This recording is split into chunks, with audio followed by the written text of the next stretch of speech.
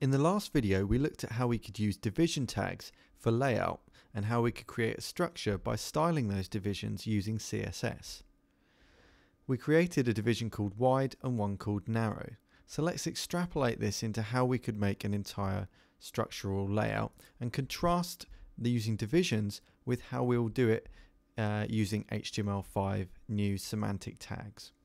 So to give you an example of this, I've created this Photoshop visual that shows you um, what that structure might look like. So the header of the page might be created with a division with an ID called header. Then a menu might be uh, called something like menu. We might have left and right column division IDs. And within those, we might have a division with a class called article. So the point here is that we're using the same uh, style rule for two different things because we want them to behave the same so they can have the same style rule. And then one at the bottom, another division with an ID called footer. So this is how we would have done it with XHTML1, uh, the previous standard of, X, of HTML. Um, but now uh, we change to HTML5 and what they've done is basically introduced some more semantic or sort of uh, sensible sounding HTML tags that you can use instead of a division.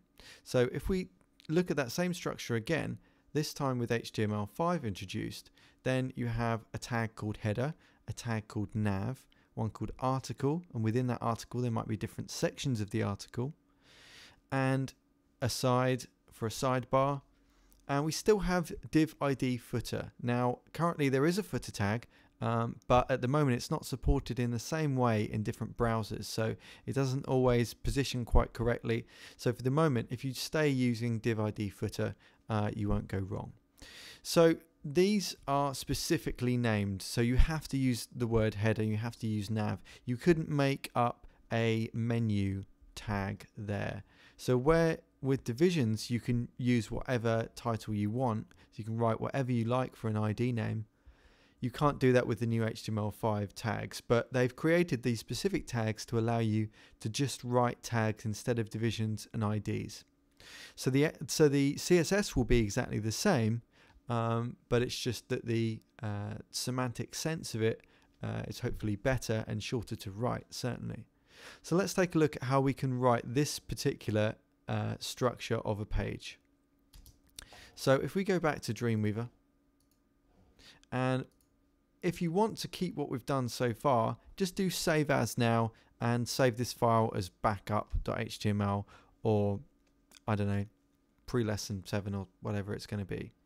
So what I'm going to do is to get rid of everything inside the body. So we've cleared out everything on our page.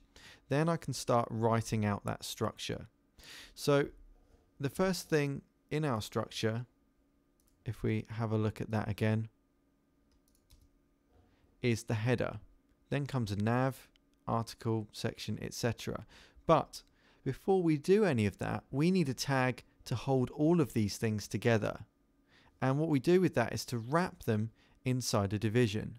So there's not an HTML5 tag for this uh, particular uh, thing that we're about to do either. So we're going to do that with a division. So this would be the same if we did it in XHTML also.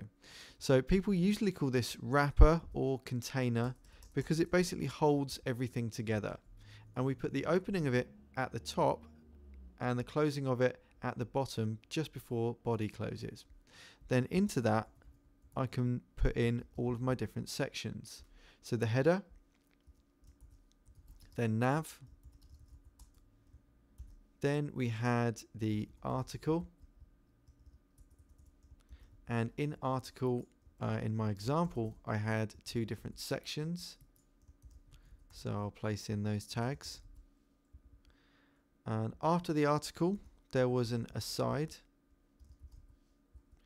And finally we have a footer which is using a division and the ID to identify that division. So that is how I would create that particular example using HTML. So I've got header, nav, article, sections inside article, the aside, and then the footer at the bottom. So that's how you will create the HTML structure. In the next video, we will look at styling that with CSS.